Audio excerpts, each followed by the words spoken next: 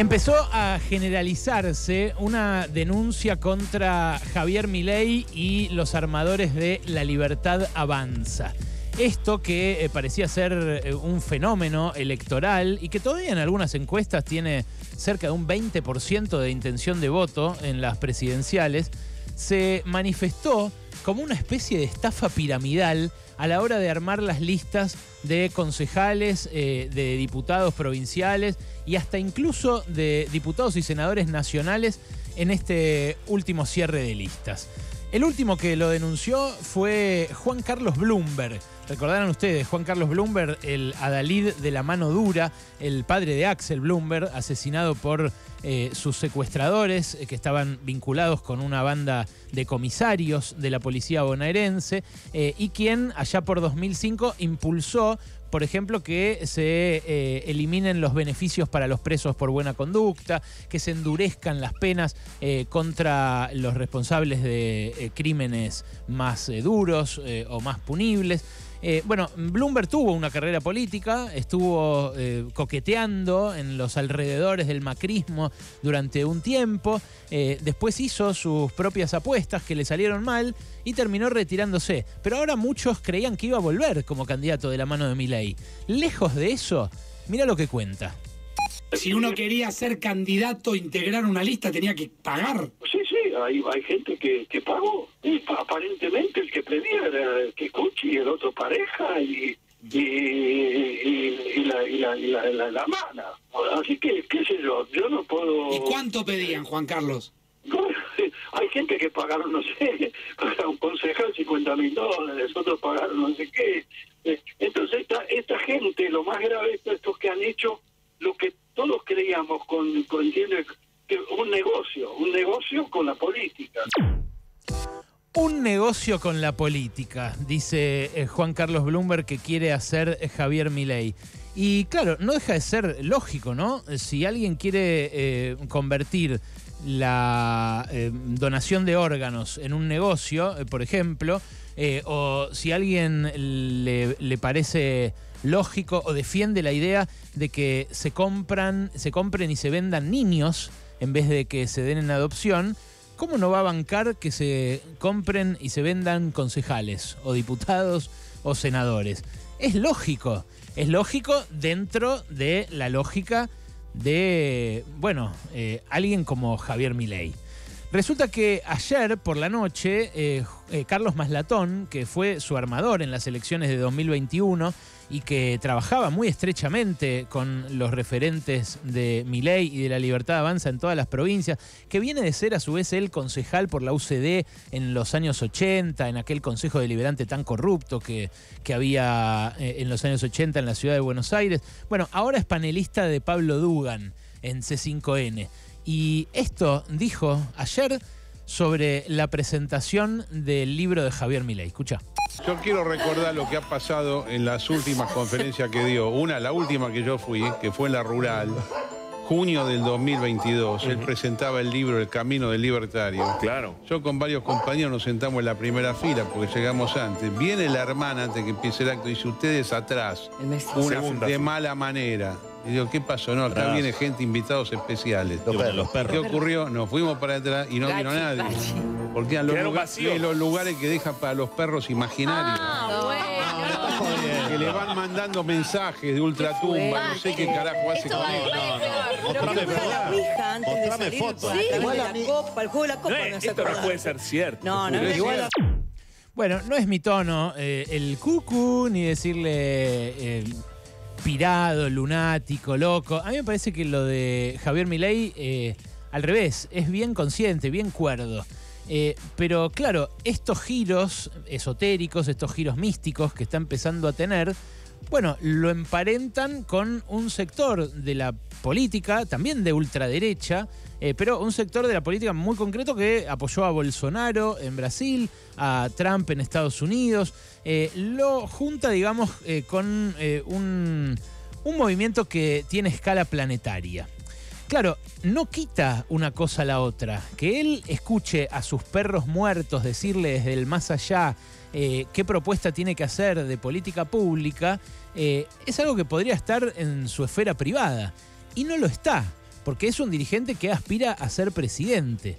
Lo otro, lo de convertir en un negocio el reparto de eh, bancas eh, o la asignación de cargos, incluso eh, podría hacerlo en un gabinete, porque si uno lleva esa lógica al extremo, podría ser que se subaste el puesto de ministro de Economía y el que junta más guita sea el ministro, porque en el extremo sería bueno que el ministro sea capaz de juntar más guita, ¿no? Bueno, eso empieza a eh, convertirse ya en un síntoma de disfuncionalidad. Y eso para mí es lo que empieza a explicar el hecho de que eh, algunos empresarios que eh, disfrutaban de la aparición de Milay porque corría el margen de la discusión y habilitaba, por ejemplo, poner en tela de juicio las indemnizaciones, las vacaciones, el pago del aguinaldo o lo que sea.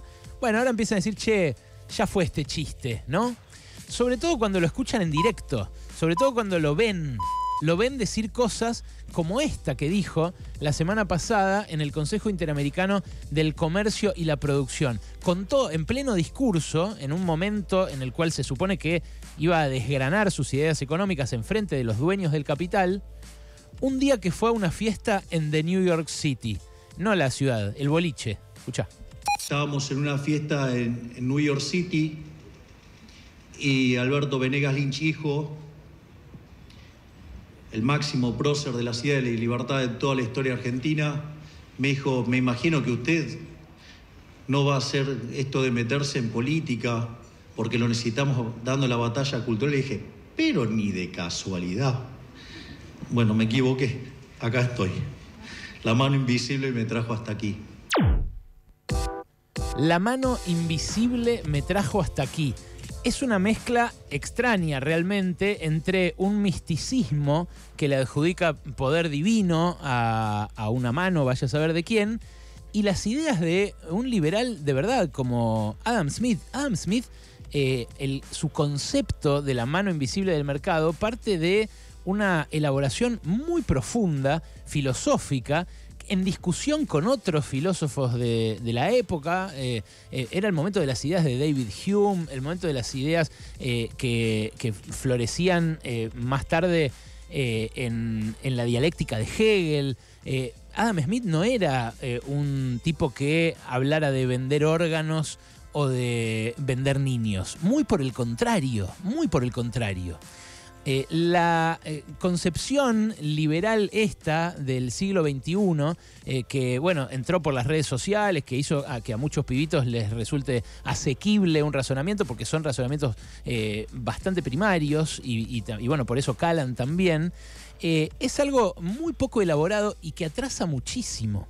Pero claro, empieza a, ponerse de manifiesto ahora, cerca de la elección, que incluso a los que se suponía que él iba a beneficiar, que es a los dueños del capital, a los dueños de todo, también le resulta complicado un tipo así. Un tipo que está al mejor postor porque eh, te dice, por un lado, que eh, son sus candidatos los que ponen 50 lucas verdes, o al menos eso dice Juan Carlos Bloomberg, ya son varios los que lo están diciendo, ¿eh? algunos de Tigre, otros de Vicente López, otros de otros puntos del conurbano, los de Neuquén, Carlos Seguía, que lo dijo después de haber fracasado como candidato suyo a gobernador, en fin, la filósofa feminista Nancy Fraser, en un libro que yo les, les estoy citando bastante, acá últimamente, capitalismo caníbal, eh, hace notar hasta qué punto, hasta qué punto el capital necesita del Estado, el mercado necesita del Estado eh, para garantizarse su propia supervivencia. Eh, el capitalismo tiende a escindir lo político de lo económico, justamente porque lo político está sujeto a las normas de la democracia y lo económico lo deciden unos poquitos que son los dueños. Y ahí no hay discusión, no hay democracia. Eh, pero la acumulación, dice Fraser, es inconcebible en ausencia de un marco jurídico que sustente a la empresa privada y al intercambio de mercado. Es más, sin el orden que garantiza una policía, no podría haber negocios, no podría haber mercado. Tampoco sin los acuerdos geopolíticos que eh, un Estado eh, traza o tiende con otros, ¿no? Como los acuerdos de libre comercio y demás. Pero fíjate qué interesante lo que eh, nota Fraser en estos movimientos de extrema derecha más recientes. Dice, la sed de lucro periódicamente tienta a algunas fracciones de la clase capitalista a rebelarse contra el poder público a denostarlo por considerarlo inferior a los mercados y a conspirar para debilitarlo. En esos casos, cuando los intereses cortoplacistas se anteponen a la supervivencia a largo plazo, el capital, una vez más, amenaza con destruir las condiciones políticas de posibilidad de su propia existencia.